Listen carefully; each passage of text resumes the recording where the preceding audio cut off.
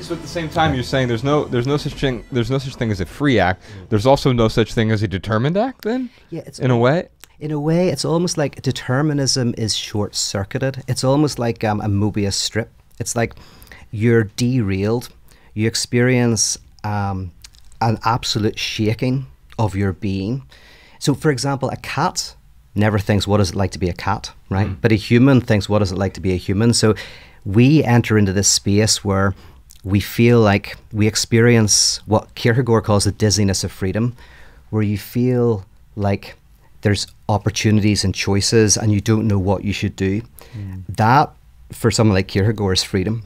It's not what you do, it's the experience of of not knowing. It's almost like what stops you mm-hmm. Oh, from moving. It's, yeah. it's what kind of decenters you. I like that. Yeah, like so. Uh, when I think about a cat, uh, for an example, they don't have free will because they're constantly just going after their impulse. Yeah. I need to chase this thing. I need to chase my tail. I need to eat. I need to. Yeah. Where we have the opportunity to stop and consider the act or whatever feeling we have. Yeah, and it's it's Yeah. like it's like something comes into our world that that allows us to do that. Because the question is, why are we like that? And for Mm. Kant, you can call it the law as well, but the categorical imperative is like something inside you where you feel, as I say, it's that feeling that there is something, for example, that you should do.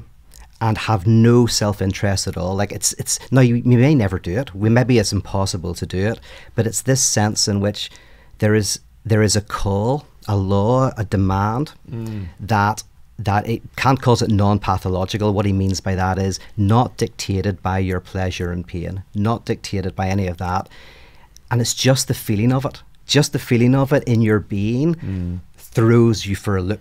It mm. just it kind of like just spins you into and consciousness can be seen as the result.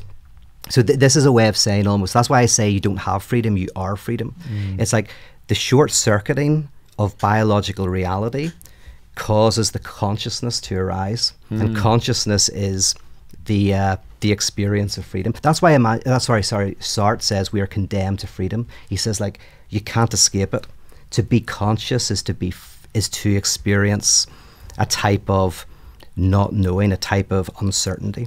Um, so freedom is a it's a feeling.